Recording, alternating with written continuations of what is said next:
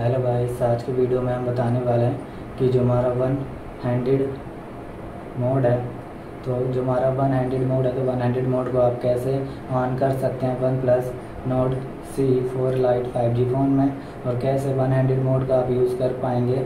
और one handed mode on करके आप स्क्रीन को स्मॉल साइज़ में आप कैसे कर सकते हैं, और फुल साइज़ भी कैसे कर पाएँगे?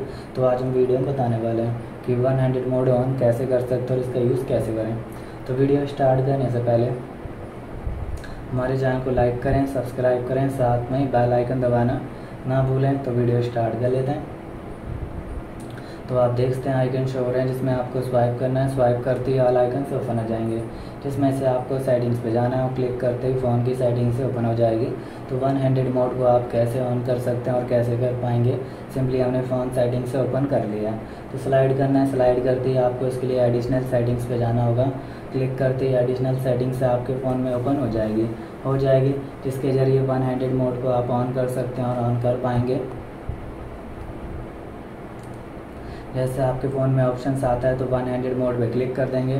क्लिक करते ही ऑप्शन आ जाएगा जिस पर क्लिक करते हुए आप सेटिंग्स पे जाते हैं तो यहाँ पर ये ऑप्शन आ रहा है, सिस्टम नेविगेशन। जहाँ से गैचर नेविगेशन पे क्लिक करना है तो गैचर नेविगेशन पे क्लिक करते ही वन हैंडेड मोड आपका यहाँ से कुछ इस तरीके से आप ऑन कर सकते हैं गैचर मोड को ऑन करके। फिर यहाँ से इस तरीके से स्लाइड करते हैं तो इस तरीके से देख सकते हैं।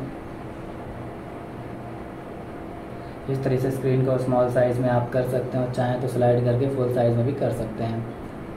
तो इस तरीके से वन हैंडेड मोड का आप ऑन करके यूज़ कर सकते हैं। कर पाएँगे वन प्लस फ़ोन में। तो आपको वीडियो लगी तो लाइक करें सब्सक्राइब करें। साथ में बेल आइकन दबाना ना भूलें। Thank you